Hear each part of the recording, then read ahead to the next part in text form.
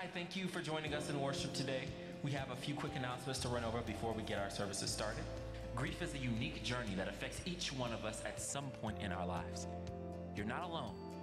If you'd like help understanding your grief, join us for a six week in person grief support class based on renowned grief counselor Alan D. Wolfelt's, Understanding Your Grief.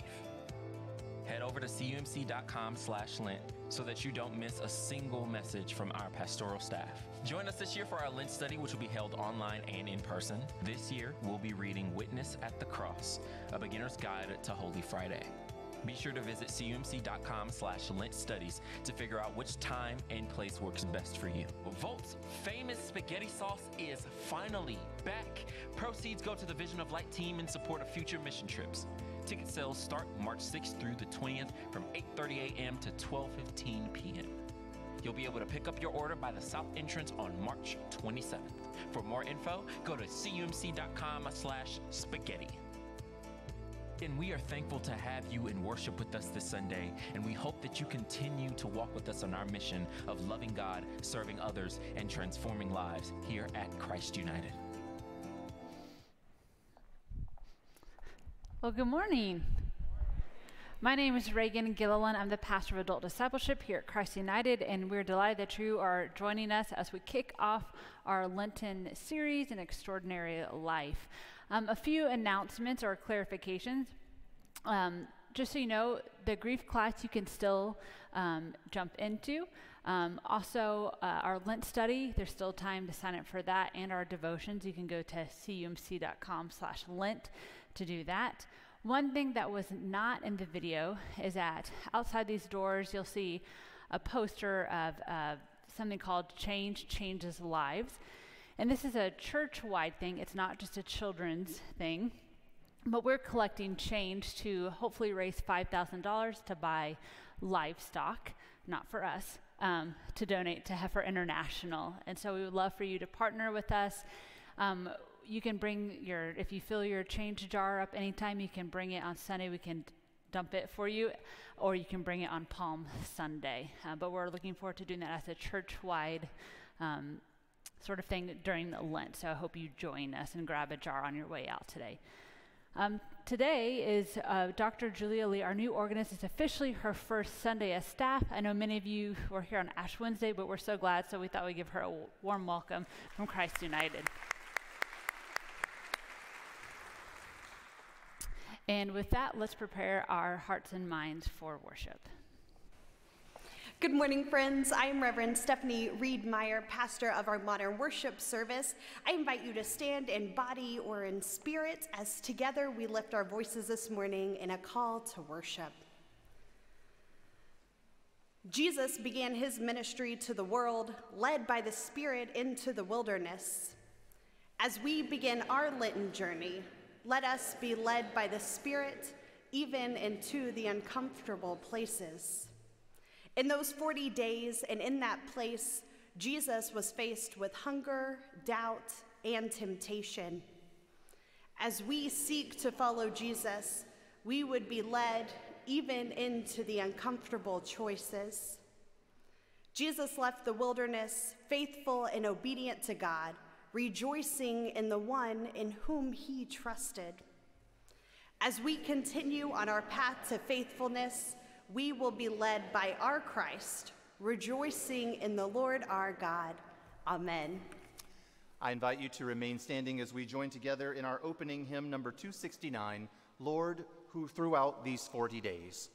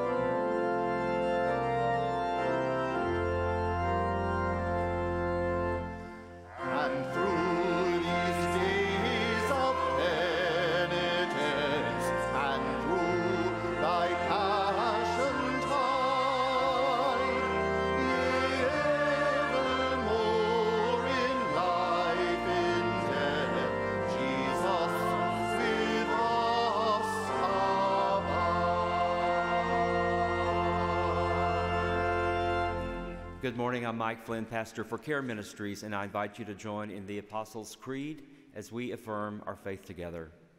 I believe in God the Father Almighty, maker of heaven and earth, and in Jesus Christ, his only Son, our Lord, who was conceived by the Holy Spirit, born of the Virgin Mary, suffered under Pontius Pilate, was crucified, dead, and buried. The third day he rose from the dead he ascended into heaven and sitteth at the right hand of God the Father Almighty. From thence he shall come to judge the quick and the dead. I believe in the Holy Spirit, the holy Catholic Church, the communion of saints, the forgiveness of sins, the resurrection of the body, and the life everlasting. Amen.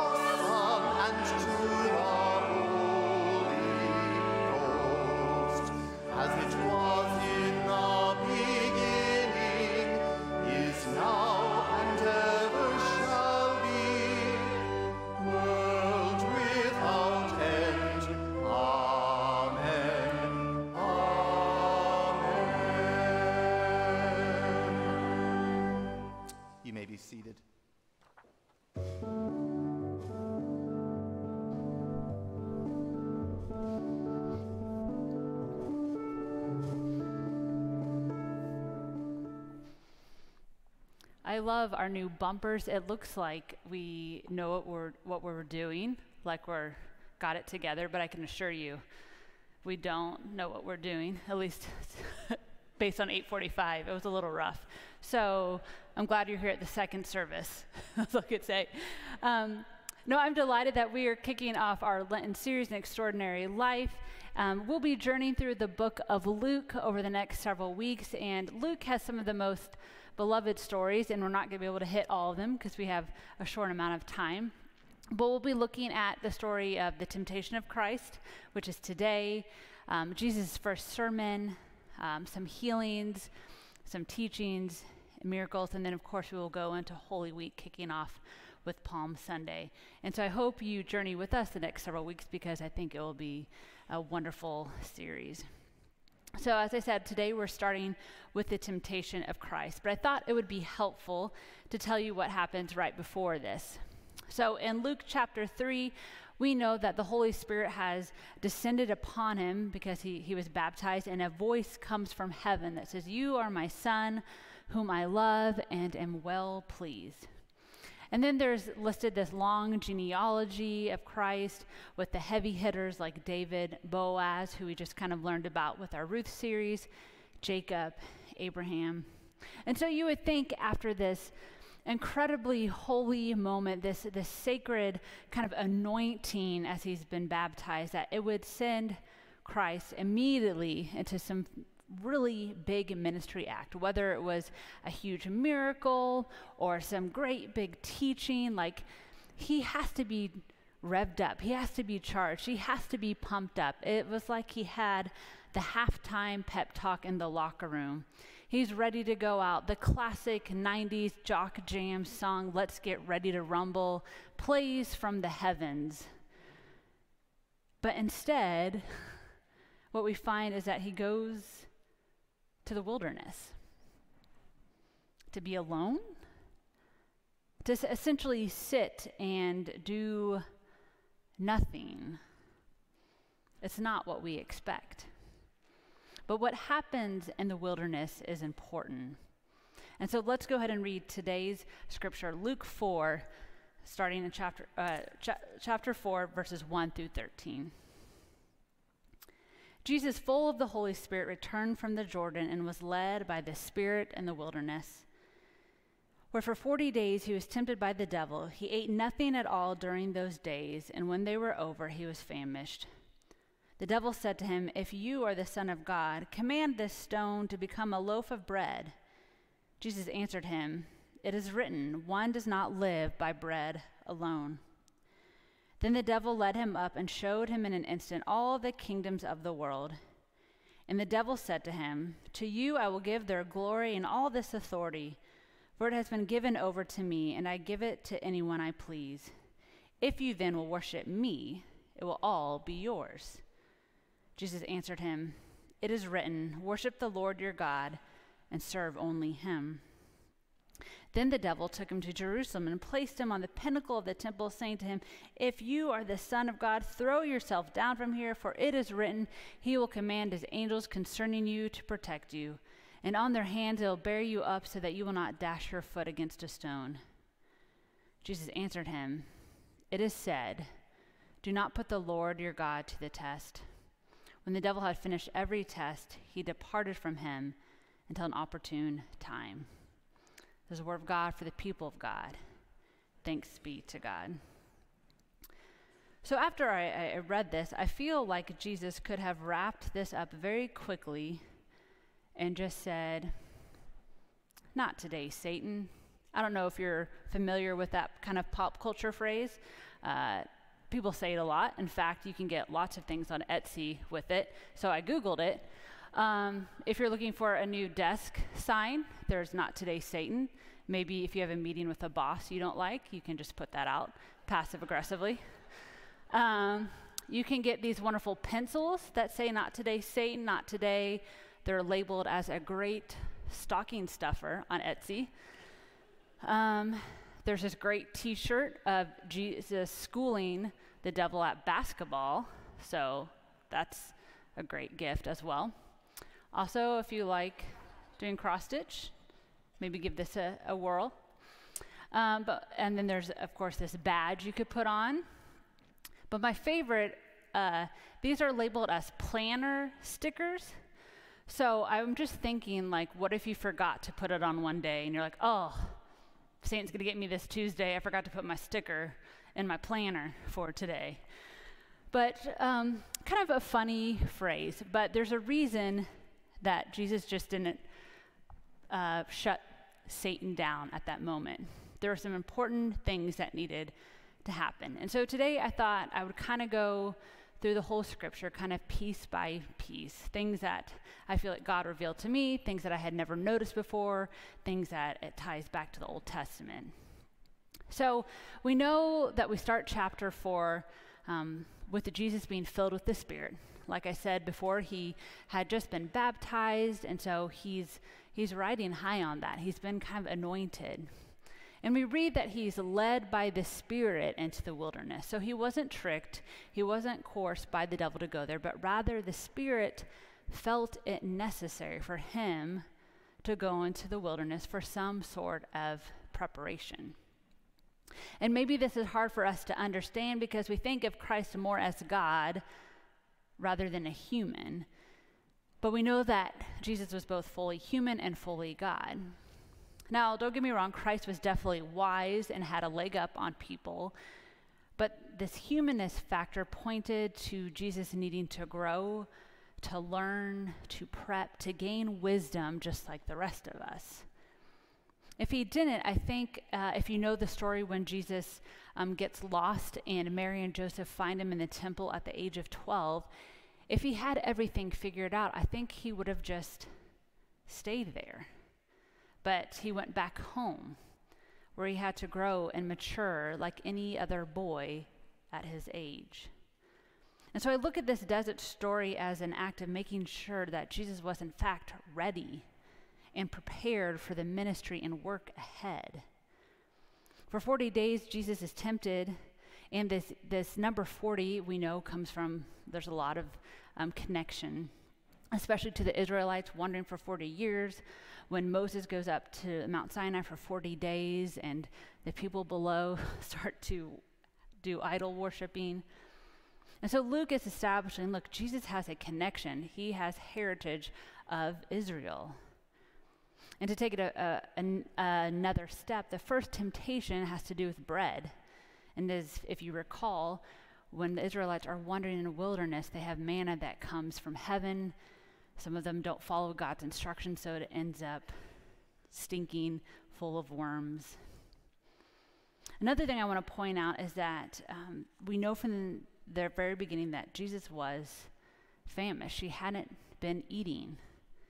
And I don't know about you, but when I am famished, I'm vulnerable. There's a reason you don't go grocery shopping when you're hungry, right? You make poor choices. and so we've got Jesus extremely vulnerable at this moment. And the whole story of the incarnation is showing the willingness of God to come to us and be vulnerable. And maybe you don't like the idea of God being vulnerable because you equate that with weakness and you don't want a weak God, but I think it's vitally important for us to understand how much risk God put forth coming to us on account of how much God loves us and how much God wants to be in relationship with us. God was willing to put God's self into vulnerable situations for us. Don't think that Jesus had some super strength in this and somehow was exempt from hunger or exhaustion or temptation because he wasn't. And it doesn't make Jesus less of God, but I believe it brings his humanness kind of forth because sometimes I feel like we put his humanness on the back burner. Again, it doesn't mean that he is less God, but it shows that Jesus could both be strong and weak at the same time, just like us. The first temptation has a lot of layers when the devil says, you know, if you are, testing Jesus to see if he will go out and prove in some extravagant way that he is the Son of God. The devil is really trying to see okay, Jesus, are you going to think only of yourself? Because that will teach, maybe it will teach others not to rely on God, to take things into their own hands, to not have that dependence or trust or faith in God. And I feel like through the whole thing, Jesus is, or the devil is poking at Jesus, like, are you just going to take care of yourself? Are you going to think about only your needs? But Jesus uh, is one that comes not to be served, but to serve, to take care of others, to save others. His needs, his desires, his wants always come last. In our own lives, how much are we tempted to immediately take care, care of ourselves first? How do we put others before us? And Jesus says, you know, it's not about physical needs when he says you don't live by bread alone, which is a callback to Deuteronomy. It's a way of Jesus saying, look, I didn't come just to meet physical needs, I came for much more than that. Also, on a, a side note, I mean, it's just to turn a stone into bread. I mean, Jesus clearly could have done a lot more. He could have had I don't know if you're Harry Potter fans, but a Hogwarts banquet, you know, in the snap of his fingers, I'm sure. So it's really not a challenge. Most of what the devil asks or tempts him is, to me, at times, quite laughable. Which brings me to the second uh, temptation. So the devil leads him up to a mountain and shows him all the kingdoms of the world and offers Jesus authority over it all. Like, hey, Jesus, I could, I could give you glory. It's like the devil is a really bad car salesman. Because I feel like Jesus looks at everything, and it probably took all of his power not to say something sarcastic like, You mean I can have authority over the things that I already have authority over? Wow, what a deal. You don't have to look much further after this story to see how much th- authority Christ has. Between commanding unclean spirits, forgiving sins, giving authority to his 12, it's clear that Jesus has authority. He does not need it from the devil. But I think there's some things going on here. Jesus is not going to take the easy way out. I think it's abundantly clear as we journey uh, later into this story. But Jesus came to do work. Many of us, including myself, may miss at times how much work Jesus did. And he was thoughtful and sometimes slow. He was led by the Spirit. But he did a lot. He journeyed from place to place. He sometimes would go off by himself. He gave himself time before he went to see Mary and Martha after Lazarus died. He didn't just stay in one town. Again, he didn't just wait for people to come to him. He traveled around. He went to people. He met with difficult people. He had difficult conversations. He did not avoid conflict, got mad, and flipped tables in a temple. And so for the devil just to say, here on this platter so neat and easy, take it. Jesus would say, That's not what I came here to do. For us, I think it's a good reminder that to serve Christ is to roll up our sleeves, work hard, and get involved. Most importantly, Jesus' power and authority is from God. His allegiance is to no one else. An overarching theme through this whole story is a call back to Deuteronomy 6 4, which says, Hear, O Israel, the Lord is our God, the Lord alone. You shall love the Lord with Lord your God with all your heart, with all your soul, and with all your might.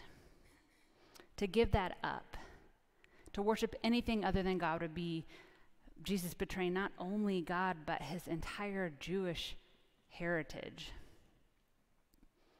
Now, the third temptation is a little bit different. Throughout this story, Jesus has not said much, he's mainly just quoted scripture back.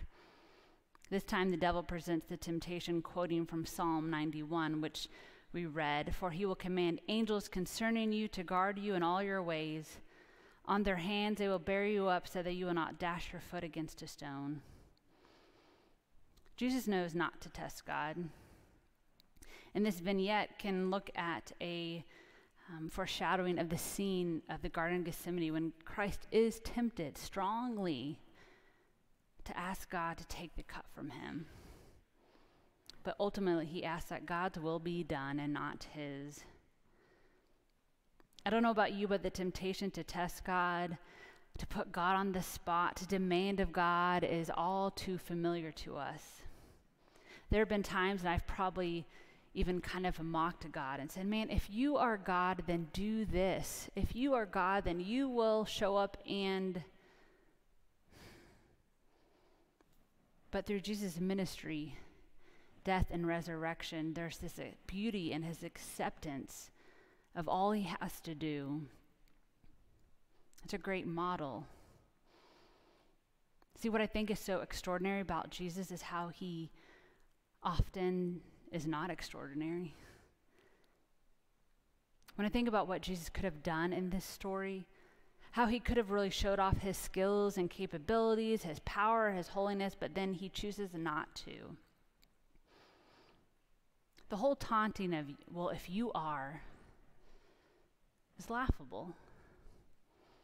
Of course, Jesus is God. Of course, he is the Son of God. He knows his powers, his abilities, but he doesn't need to be forced to show what he can do. You see that at other times when his disciples want him to do something or to put someone in their place, Christ is steady and measured and not there to make a production of things.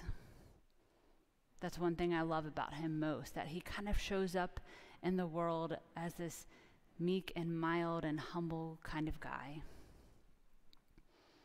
And everything his, he does. His focus is to be with God, to follow God, to listen to God, and to understand his role, no matter what is asked of him.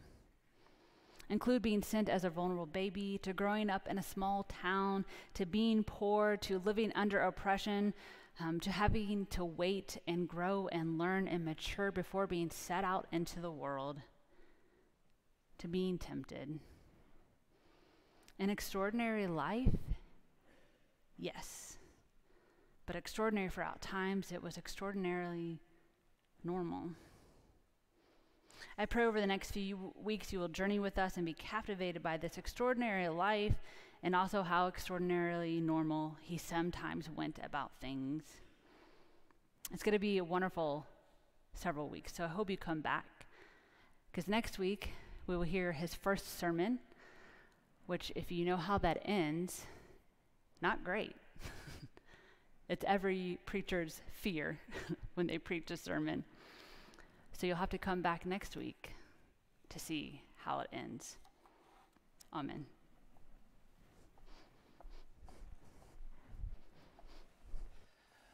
We now come to our time where we lift up our offerings. But before we do this, a note that the flowers in the sanctuary this morning are given in memory of Jeannie Jones, beloved wife of John Jones, mother of Jeanette and Johnny Jones and grandmother of Ashton and Farron. So we give thanks for the life and the memory of Jeannie. Again, we're glad that you're here with us worshiping either online or here in the sanctuary. If you're online, please remember to register, and here you can use either your blue Pew card or the QR code on the back of your bulletin. And as always, we continue to be so thankful for the many ways that you support all of the missions and the ministries here at Christ United. In particular, there's a special opportunity now to help Ukrainian refugees through our work in Poland several years ago. The Polish UMC pastor that our inspiring travel team worked with during our four trips to Poland has recently reached out for help to care for Ukrainian refugees, and he's working to find shelter at many of the local UMCs in Poland. So any donation that you can provide either by marking Poland on your checks or giving online at CUMC slash serving others will go directly to this special offering. So again, thank you for all that you do in Christ United, both here in the community and in the world.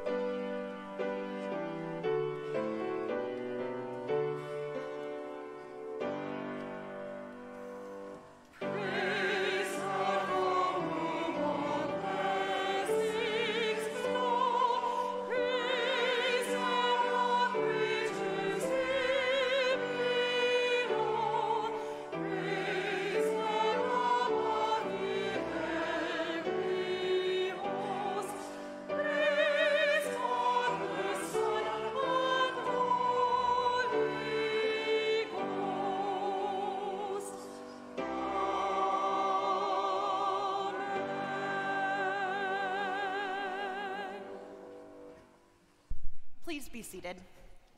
This morning, on the first Sunday of Lent, we have the opportunity to partake of Holy Communion with one another. And what a special blessing that is this morning. Before we get into our liturgy, I do want to uh, let you know that this morning we will be offering communion at four stations here at the front. This communion will be offered through intinction, which means that you will place your hands out to receive a piece of bread. Then you can take that bread and dip it into the cup and then consume it. If you are not comfortable dipping your bread into the cup, that's okay. You don't have to. You can say, no, thank you. Uh, and you're no less holy for it. Or, even better, if you feel more comfortable in the back, we have prepackaged communion available. So, however you are most comfortable this morning, we want to make sure that you feel welcome to take communion. That being said, there's also a gluten free station here at the front. So many options. I do want to remind you all that here at Christ United, we practice an open table. That means that you do not have to be a member here, you do not have to have the whole Christian thing figured out to take communion. Instead, all that we ask is that you are open to the Holy Spirit working in your life. If you are, you are welcome at this table. Let us join together this morning in Holy Communion. The Lord be with you. Lift up your hearts. Let us give thanks to the Lord our God. It is right and a good and joyful thing, always and everywhere, to give thanks to you, Almighty God, creator of heaven and earth. You brought all things into being and called them good. From the dust of the earth, you formed us into your image and breathed into us the breath of life. When we turned away and our love failed, your love remained steadfast. When rain fell upon the earth for 40 days and 40 nights, you bore up the ark on the waters, saved Noah and his family, and made covenant with every living creature on earth. When you led your people to Mount Sinai for 40 days and 40 nights, you gave us your commandments and made us your covenant people. When your people forsook your covenant, your prophet Elijah fasted for 40 days and 40 nights. And on your holy mountain, he heard your still small voice. And so, with your people on earth and all the company of heaven, we praise your name and join their unending hymn. Holy, holy, holy Lord, God of power and might, and earth are full of your glory.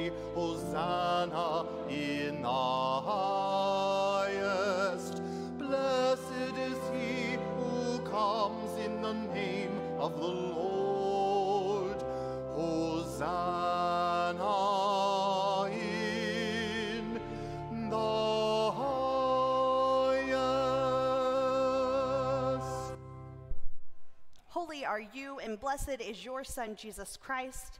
When you gave him to save us from our sin, your Spirit led him into the wilderness, where he fasted 40 days and 40 nights to prepare for his ministry. When he suffered and died on a cross for our sin, you raised him to life, presented him alive to the apostles during 40 days, and exalted him at your right hand. By the baptism of his suffering, death, and resurrection, you gave birth to your church, delivered us each from slavery to sin and death, and made with us a new covenant by water and the Spirit. Now, when we, your people, prepare for the yearly feast of Easter, you lead us to repentance for sin and the cleansing of our hearts, that during these 40 days of Lent, we may be gifted and graced to reaffirm the covenant you made with us through Christ. And on the night Christ gave of himself for us, it was at that meal that he took the bread, broke the bread, gave it to his disciples, and said, Take, eat, this is my body, which is broken for you. Likewise, when the meal was over, Christ took the cup, gave thanks, gave it to his disciples, and said, Drink from this, all of you. This is a sign of my new covenant, one made by spirit and the water. As often as you drink from this cup, Do so in remembrance of me. And so, in remembrance of these, your mighty acts in Jesus Christ, we offer ourselves in praise and thanksgiving as a holy and living sacrifice in union with Christ's offering for us, as together we proclaim the mystery of faith. Christ has died, Christ is risen, Christ will come again. Pour out your Holy Spirit on us gathered here and on these gifts of bread and juice. Make them be for us the body and blood of Christ, that we may be for the world the body of Christ, redeemed by his great love. By your Spirit, make us one with Christ, one with each other, and one in ministry to all the world, until Christ comes in final victory and we feast at his heavenly banquet. Through your Son, Jesus Christ, with the Holy Spirit in your holy church, all honor and glory is yours, Almighty God, now and forever. Amen. Amen. Amen.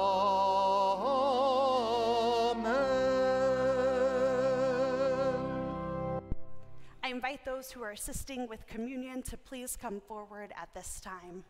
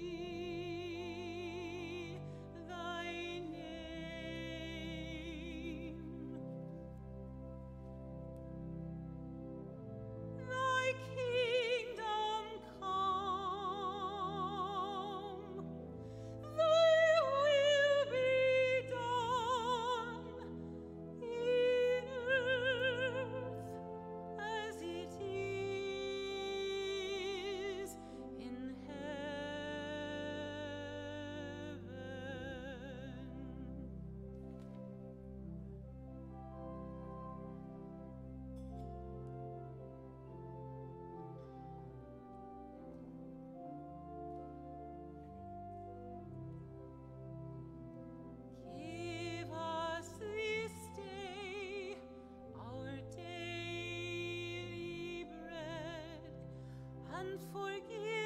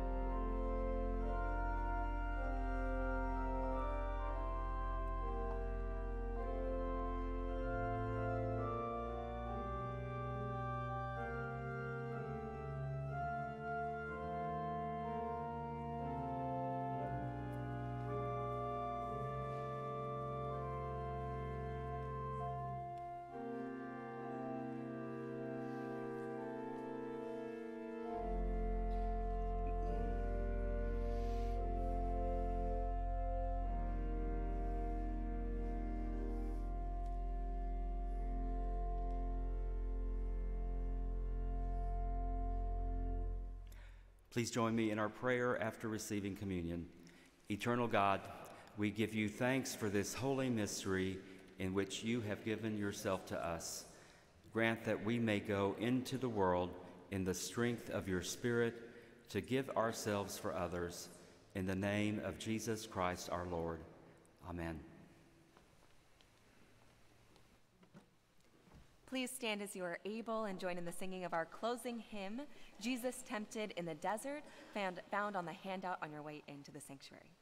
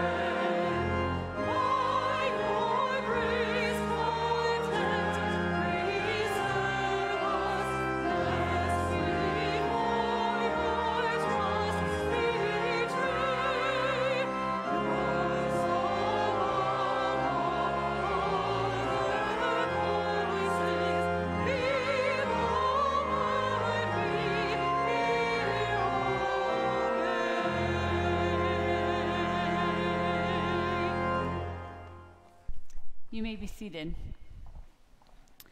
So, you know, when you start um, or you try to start a diet and then you start your morning with donuts, you're like, well, might as well just eat whatever I want the rest of the day. That's sometimes how we feel with Lent when we think, well, we're already a few days in, so what's the point of doing something now? Um, in my newsletter on Friday, I talked about how we as Methodists, we're thinkers and we are learners. And so I pray that for the remainder of this Lenten season that you would take time to grow and to learn and to think because I think the example today is that Jesus needed that time too. And so if he needs it, so do we. So may this season be a time of learning and growing and transforming. May you go in peace today. Amen.